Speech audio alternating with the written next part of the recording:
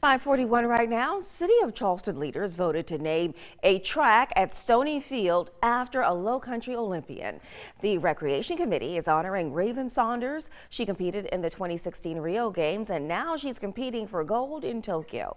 Raven commented on Twitter on what this means to her. She said in part, quote, I'm super excited and thankful for this honor. I've always wanted to be forever ingrained in the history of Burke High and the city of Charleston. This is something that in my wildest dreams I never saw coming while I was just another kid trying to make a way out of no way. And we take a live look right now at Tokyo, where Saunders, along with another 192 returning Olympians, will make their Tokyo Olympic debut in nine days. You can watch the Olympics live starting July 23rd, right here, only on 2. All right.